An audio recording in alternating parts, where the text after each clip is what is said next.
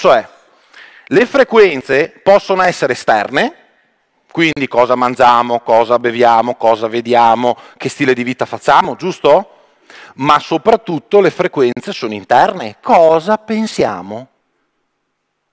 È chiaro per tutti?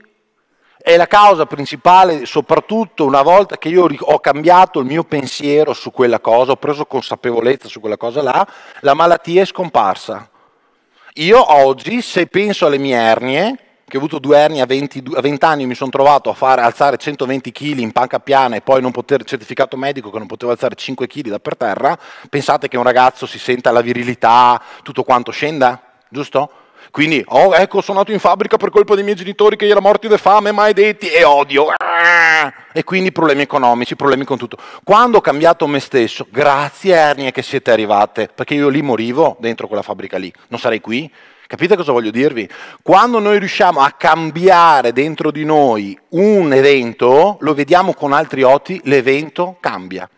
Questa è la cosa principale che volevo trasmettere, perché noi queste frequenze, sia esterne, esterne, esterne e interne, chi è che le vede, chi è che le percepisce? No, noi, come vi ho detto prima, siamo invasi da, anche da elettrosmog, da segnali dei cellulari. Voi vedete i segnali dei cellulari?